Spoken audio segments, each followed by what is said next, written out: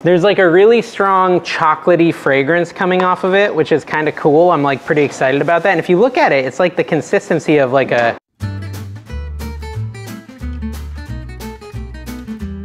Hey everyone, I'm Dave and today we're making the world's best Cincinnati chili and I'm pretty excited about it. So on this channel, as always, what we like to do is we look up on Google the world's best recipes. We try them out, we try to cook them just as a normal average Joe, although I'm Dave, so an average Dave, and we see if they really are the world's best. So let's look up world's best Cincinnati chili and see what Google gives us as a result. It looks like they're suggesting this recipe from Culinary Hill. And it honestly doesn't look too difficult, but I am super excited about the whole idea of it and I'm really looking forward to trying this out. What we're gonna do is we're gonna start off with the prep work because from what I can tell, this is actually gonna come together really easily. And I won't, I won't make you watch the whole entire onion cutting process. I have a lot of people complain about that. They don't wanna watch me cut onions. I'm sorry.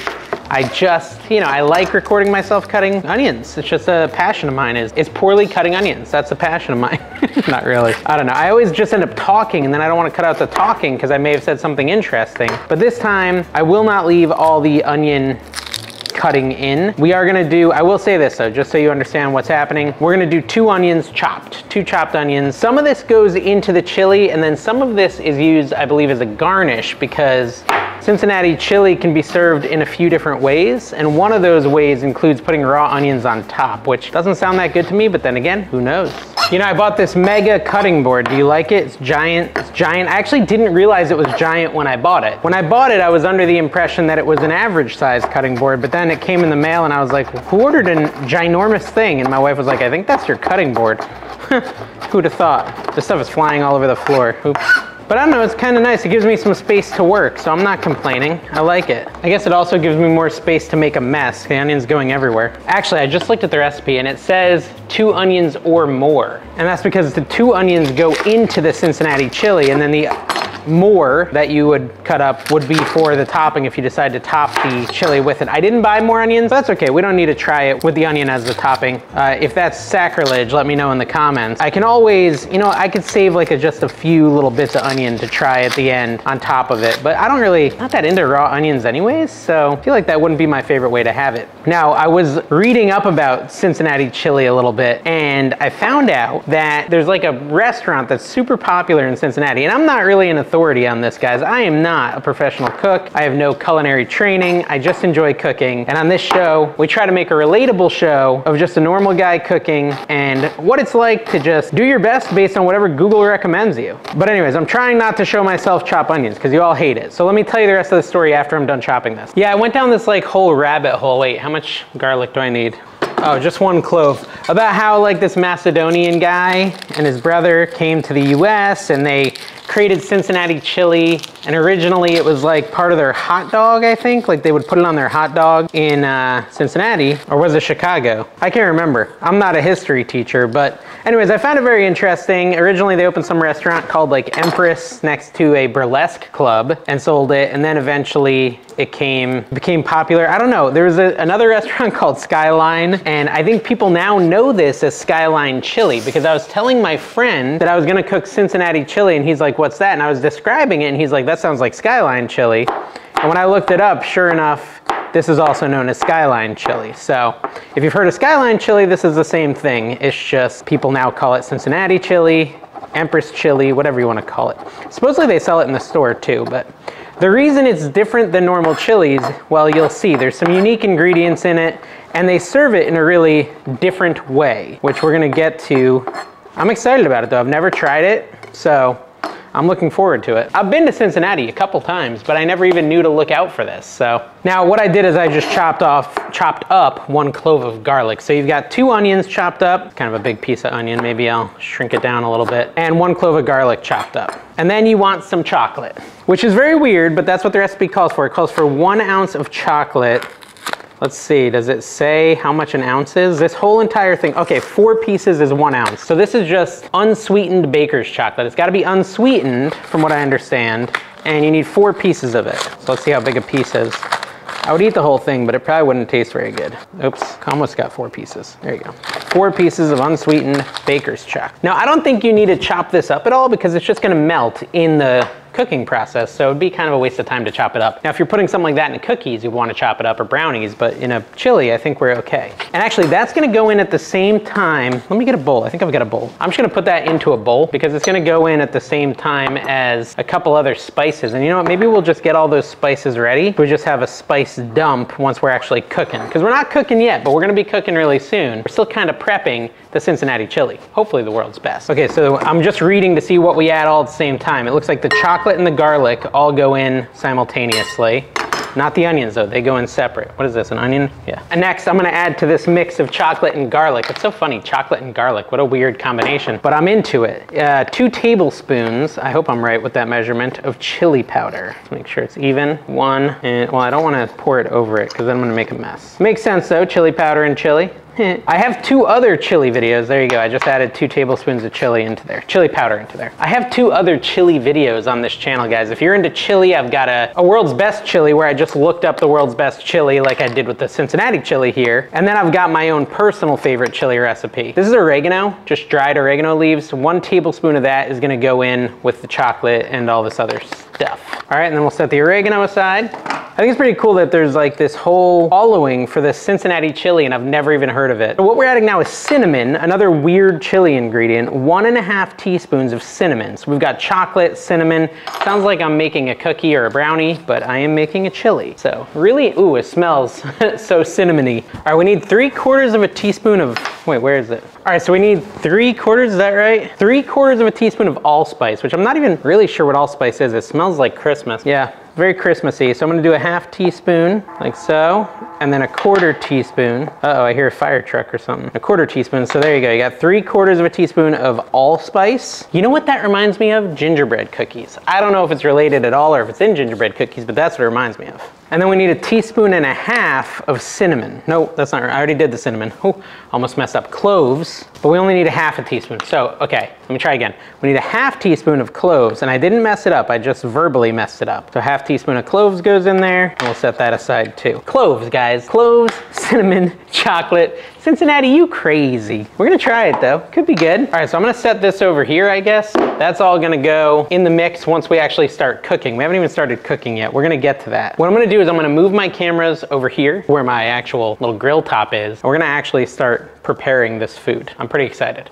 Okay, so I'm over here. I think I've got everything set up. This is my little, you know, camp stove. I'm gonna turn it on real quick. All right, so we've got our flame there, nice and hot. We're gonna put our Dutch oven on top. You can use any big pot. I'm using a Dutch oven, but you can use whatever you want. And now we're actually gonna get to cooking this. We're gonna do a tablespoon of olive oil in here. This feels like it's putting off a lot of heat. I'm gonna turn it down a little. It's hard to judge the, uh, the heat output of this thing because it doesn't really have a medium setting. But anyways, we got our oil in there. Now we're gonna add the onions. All right, so let's add the onions in. Get them all in there. All right, so I'm gonna stir these onions around. I did go in and get a a wooden spoon so I can actually stir it up. Yeah, looks like onions cooking, right? No problems there. Got the onions cooking on the cooktop. And then we're gonna do this for like five minutes, it said, until they get translucent. All right, so these are starting to sizzle a little bit. And uh, Callie's in the house. Say hi, Callie. Hi. She's being shy. So Callie, I'm making a chili, and I wanted to tell you about it. It's a chili, but it's got chocolate in it. Unsweetened chocolate. And sin oh, she knew, she knew, she said unsweetened. She was well aware of my trick. So you're not gonna try it? No. Callie doesn't wanna try chili. Callie, I need, you know, you can do one thing for me. I need two cups of chicken broth. Now, we're not gonna put in the chicken broth yet, but we're gonna measure it out because it makes it easier later. Can you measure that out into the oh, measuring cup there while I stir this? Yeah. So this is something you can do like while the onions are cooking, get ready for some of the steps that are coming up. We are gonna have to add that chicken broth after we add in the spices with the cinnamon and all that other stuff. So we're gonna have to do that. Might as well get it measured out, make our lives easier later. Let me take a look, maybe a little more. Okay, another thing we're gonna add around the same time we add that chicken broth, which that chicken broth is like weirdly clear. Look at this. Hey, hold on. I'll just show it to you up here. Isn't that clear? Thought they used to be darker. Could be, could be wrong. Uh, so we've got a can of tomato sauce, Hunt's tomato sauce. This is 15 ounces. The recipe called for 16, but I couldn't find any 16 ounces. Is this like that whole thing where the sizes are getting smaller, but it costs the same amount? Like Hunt's is being sneaky, charging us the same amount for less tomato sauce. Anyways, I only could find a 15 ounce can and also some tomato paste. I think calls for like two teaspoons or two tablespoons. We'll get to that in a minute. So, you know, get your can opener, open those up, which I'll do in a second. Callie ran to get me the can opener. Two more ingredients you can have at the ready is brown sugar, our brown sugar, brown sugar and Wor Worcestershire sauce. Everyone always writes down like phonetically how to spell it or how to say it, and then I forget by the time I come record. So sorry guys. Wor Worcester sauce, someone said Worcester sauce, and then someone like wrote it out. They said Worcester sauce. I don't know. All right, these are, it's been about five minutes on these onions, so I think we could be pretty good to move on to the next step here. Callie's got our can opener. Nice. Thank you, ma'am. Yeah, that's a can opener. Appreciate it. so much onions on the ground, Dad? Oh, she called me out for dropping onions on the ground. Do you want to do it? Yes. You just do that. And twist it. right? Squeeze it really hard. Squeeze like that. Now turn this thing. It's probably, oh, you got to hold this at the same time. So hold this, let go of the can. So she's a lefty, so she's actually struggling with this because It's not it's not really designed for a lefty, I don't think. It's, I think it's designed for a righty. Come over here so they can see. Show them what you're doing. You're reaching over. it's not lefty friendly. So, okay, we learned something new today. This is made for righties. Oops. Let me hold it. They must have like a lefty and a righty version of uh, can openers. I didn't think about that. Which, to be honest, here, let me just grab it. To be honest, your mom is a lefty and she uses this, so we should ask, oh man, we should ask her what the trick is. Dad, you're opening it backwards. Oh, it is upside down. Maybe that's why I'm having, Difficulties. that is probably what's happening. I'm opening it upside down. Well, wait, who started this? You or me? That's working better. No, my gosh, it's not. Hold on, let me go over to the table. oh, they're turning brown. I know, that's, I'm burning the onions. Okay. All right, watch out, watch out. I don't want to burn you. All right, so the onions are like going too far because I was having all those issues. So what we want to do now that the onions are, you know, warmed up is add all these ingredients we talked about. Is that the chocolate? That is chocolate, yeah. Chocolate, cinnamon, cloves. How's the chocolate gonna melt? It'll melt, it's hot in this thing. All right, so the key here, oh my gosh, that smells interesting, is to heat it up for 30 seconds. Here, put that over there for me. Heat that up for 30 seconds until it becomes fragrant. Do you know what fragrant means, Callie? Uh. Smelly. Smelly. Yep. Is it smelly yet? No. It's not. All right, it's gonna burn. Let's add the uh, chicken broth. So we're gonna add the chicken broth to chill it out. There we go. Oh. I'm afraid I'm gonna burn the chocolate Ow. and the uh, spices. There we go. All right, so now we got that. Stir that a little bit. That actually smells good, kind of good. Okay, so what we're gonna do is we're gonna add the tomato sauce. Now, that was tomato paste we were opening. We need the tomato sauce. This is a full can of tomato sauce, 15 ounces. 16 ounces is preferred, but I couldn't find it. That bird is loud. Pour that in there Ugh. with it. Okay, Callie's gonna, s- careful, it's really hot. Callie's gonna stir it for us. All right, so she's stirring that for us, and we're gonna add some apple cider vinegar. Ooh, so, cider. two tablespoons worth it, worth of it. One, I'm gonna put it, put it over the spoon. two. So two tablespoons of apple cider vinegar. Definitely, that's definitely something I've never put in a chili before. Okay, so as far as the tomato paste goes, we want two tablespoons of that. So here's one tablespoon we're gonna add now. There you go. And the second tablespoon. That's why it tastes like tomato sauce. This is brown sugar. So we're gonna add some brown sugar. It doesn't specify light or dark in the recipe for the Cincinnati chili, so I'm just gonna use light because that's what I got. So there's one teaspoon. And again, more sugar. This is a really odd chili recipe. Two teaspoons, stir that up. Okay, and then the next ingredient is gonna be our Worcestershire, Worcestershire sauce. Also two teaspoons of that. So that's one teaspoon and two teaspoons. looks like vanilla. It does kind of look like vanilla, but it tastes way different. This actually is really interesting. There's like a really strong chocolatey fragrance coming off of it, which is kind of cool. I'm like pretty excited about that. And if you look at it, it's like the consistency of like a, a rich chocolate milk. I don't think it's gonna taste like chocolate, but still, like I can't help but associate the chocolate with what I put in it. It looks amazing so far. I'm excited to try the world's best Cincinnati chili, Callie, are you? So now we gotta add the protein. Do you know what the protein is? It's the meat. What kind of meat are we doing? Uh, Ground beef. pig. So this is ground beef, and the recipe specifically says, uh-oh, my fridge kind of froze it a little bit. That's Isn't good. pig? Look at that. No, this is cow. Look at that. Fridge kind of froze it a little. So my fridge is set to too cold. I'm gonna put it in anyways. That'll trigger some people. No, no, not yet. So that one's a little frozen. This one's not. I mean, it's gonna have to cook for like 25 minutes anyways, so it's gonna cook through, I'm pretty sure. And it's not super frozen. It's just got a little layer of ice at the top. So we're gonna add our beef to the mix here. All right, so what we're gonna do is we're just gonna stir in the beef a little bit. It stinks about that frozen bit, but it'll it'll warm up here. Uh, and so basically 8515 ground beef is what it calls for. It specifically said 8515. A lot of times that's what I'll use to make a hamburger is 8515. Usually for something, I don't know, I rarely use anything more lean than that, but you could. So yeah, you can see that, oops, I just spilled it. Trying to break that up. So we want to bring it to a boil. I'm going to turn up my heat a little bit to get it to a rolling boil. And we'll probably let this just warm up for the next three minutes and it'll probably be boiling by that time. All right, so this is already boiling a little bit. It says to bring it to a boil and then reduce the heat to a low simmer. So I'm gonna turn the heat down, even though I've still got this frozen ground beef in here. Let me try to break it up a little. Okay, look, I, I got this pretty much all broken up, which I'm feeling much better about. Oh, here's another piece. Okay, so this is looking pretty good. Actually, it's looking kind of disturbing. It's looking like a big bowl of barf, but I'm gonna turn the heat down a little so it simmers. Okay, so Callie has brought me over a giant thing of water. That this is spill? literally just water. And so this is, yeah, she did spill it all over my socks. And I my guess I should be wearing shoes, but I'm only wearing socks and now they're wet socks. So we're gonna put them on another burner on here. Uh, you probably don't really need to see this that much, but actually maybe I'll put it on this one right next to it. All right, and we'll put this on there. And we're gonna bring this water to a boil because we're actually gonna cook some spaghetti because Yay! I guess in Cincinnati, they put their chili on their spaghetti. So you excited about some chili spaghetti? Can I just have spaghetti for dinner tonight? She just wants paschetti, guys. Please. If you're good. I need pot holders. Can you go inside and get some pot holders? That's warming up. I really think I want to move it over though. I'm gonna move it over to this other burner. Oh well, that one's not really doing anything, so I guess we're gonna leave it over here. That's all right, it'll still boil.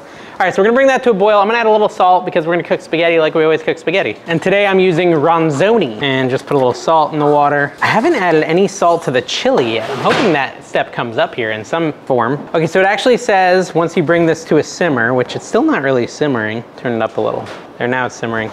To add some salt and pepper to taste. So I'm just gonna add a little salt and a little pepper to taste on the Cincinnati chili. And you can always add more salt and pepper later, so I guess I'm not that concerned about it being the perfect amount right away. So we got our water boiling, we got our chili rolling. Now you can set a timer if you want. You want your chili to simmer for 20 to 25 minutes. You can see it's got little bubbles coming up, it's simmering, doing its little thing. So we're gonna let it do that for 20 to 25 minutes. We're gonna boil some water. We're gonna cook some spaghetti. We'll be back and really soon we're gonna be trying the world's best Cincinnati chili, so don't go anywhere. All right, so we're at a nice rolling boil on this water. So I'm gonna get, go ahead and add my spaghetti to it. And you know, I think we've all cooked spaghetti once or twice, right? But if not, just add your spaghetti to the water. and what's it say? It says to cook it for uh, 11 minutes for firm, 10 for al dente, and 12 minutes to tender. Now, I'll say this, the recipe doesn't tell me how to cook my spaghetti, so I'll probably just cook it the way I like it, which is like right in the middle. I don't like it too hard and I don't like it too soft, so I'll probably do like 10 minutes, I think is what it called for. I'm just adding my noodles. Ow, ooh, man, maybe I should have broken them in half. They're sticking. I really need a fork, hold on. I like to give it a stir right when you add it so it doesn't get all stuck together. My heat's a little too hot on this thing. It's sticking to the side of the pan. This is a problem with this little grill thingy is like the heat comes up and around the pan and it's causing some issues. Like last time I cooked on here, I went and I grabbed the handles and that was a horrible idea because I burnt my hands really bad. So you gotta be careful using this kind of stove. Ideally I'd cook inside, but it's just inconvenient to cook inside based on the house setup. So we're cooking outside today. All right, so anyways, that's gonna be like 10 minutes. We have about 10 minutes left on the chili too. Let's give that a little stir and see how it's coming. Oh yeah, it's definitely thickening up nice.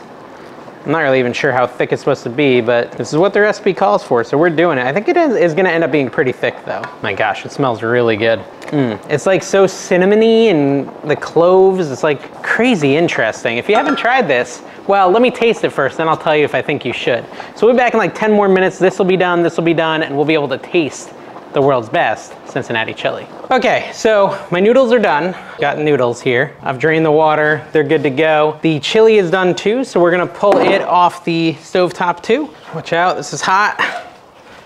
There we go. I'm just gonna give this a little stir and we're ready to try this, although I feel like right now it would really burn my mouth pretty bad. And also we need butter for the noodles. Callie wants butter. That's a separate dish. This doesn't call for butter, but if you wanted to have some buttery noodles when this is done recording, you can do that. Yay! All right, so take a look at that. It looks really good. Anyways, what we're gonna do is we're going to start to plate up here. We're gonna get to the beans and all that, so we're gonna get there, you'll see. So we've got a plate of spaghetti, and in Cincinnati, apparently the way they do their chili is they put it on top of spaghetti, which is totally bizarre, but I'm on board for bizarre things like that. Whoa. So that is how they do their chili in Cincinnati. And there's multiple ways you can have it. You can have it one way, two way, three way, four way, five way. I guess one way is just eating it straight up. Two way is with spaghetti. Three way, hold on, I've got a list. Yeah, okay, so three way is when you add cheddar cheese, right? Which I feel like that's the way I would like to eat it, would be like this. You know, with a little cheddar cheese on it. And then four way is when you add beans or raw onion. Now I don't have any raw onion, but I can definitely add some beans. And it calls for red kidney beans. It is pretty bizarre though, so I'm just gonna put them over here. Well, you know what, we'll do it this way. Both sides. I don't know if I'd order it this way. I'm not gonna do too many beans. Anyways, it looks interesting. We're gonna try it. Let me get a fork. I had one somewhere. Did I lose it? And I can use this fork. All right, we're gonna try it. We're gonna try it four way first. So some chili, some noodles. Oh man, the noodles are a little. Mm, mm. All right, so I basically just got noodles. Let's get some beans and some chili on this forkful. Some big bite. Yeah, I don't know. Um, let's try it. Hmm. Interesting. Okay. Kind yeah. of meaty, kind of. I'm gonna try to get a little more meat. I feel like I didn't get enough of the, the meat here. It's very like uh, sweet and Christmassy. this my instant reaction is it needs way more chili and way more cheese. Can I do the cheese? And the beans aren't really doing much for me. You can add a little cheese. Because I just want less spaghetti and more of the, the actual chili here in a bite. All right, I'm gonna try this bite. The beans aren't bad, really. You wanna try it? No, thank you. You should want to try it. Here's what I'm gonna do. I want to try just the chili and, tr- and judge it for itself. As a whole, with the cheese, chili, and the spaghetti, it's really good. Mm. It's a really delicious dinner. Absolutely no complaints. I like it a lot. I almost would say I love it. It's better than normal chili. Eh, I think it's different. It's different enough that it almost doesn't even fall into the same the same dinner category. But I want to try just a straight up chili and taste it for what it is. Okay, so the chili chili itself is really good. Callie said the noodles falling out of my mouth was really gross. It's hard to do this, Callie, and not have them fall out of my Also, mouth. you said chili. Chili. you said chili. Here, like chili. this, okay? Okay, perfect. But make sure it doesn't go Hmm? Good job. Also, it's kind of gross because Hmm. people don't want to see that. I do like the beans. Kind of mad. The beans are good. No, I want to strain the beans, I think. This is delicious. This is not chili. It's not feeling like chili at all. It just feels like an interesting spaghetti sauce on my noodles. But I like it a lot. I love it. I would cook it again. It was actually really easy to cook. It's pretty cheap. So I would recommend it. I would say it's like, for me, like a 9 out of 10, but I've never been to Skyline Chili in Cincinnati. I've never tried it in Cincinnati, but if you've never had Cincinnati chili, or you have, this seems like a pretty solid recipe. All right, Tina, my wife, is gonna come try it. on camera. Yeah, on camera. Come on. She doesn't want to come on camera. Come on, guys. Tell her to come on camera. No, There you go. You're not gonna save this, are you? Since of course I'm gonna save it. Wow, that's a big bite. That's not that big of a bite. All right, so she's trying Cincinnati chili for the first time. She looks concerned. Doesn't taste like chili. That's uh, for sure. No, tastes like spaghetti Mom, do you want Tastes some like beans? spaghetti. with yeah. beans. Want With more beans.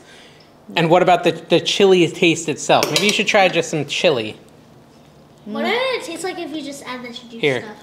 put that on your fork. All right, she's gonna try just the chili and burn her mouth. Pretty good. Okay, so it it doesn't. I don't even know if it needs the spaghetti. The spaghetti's how they do it in Cincinnati, but I almost would just make it as like a, a dish without the Put- spaghetti. Rice.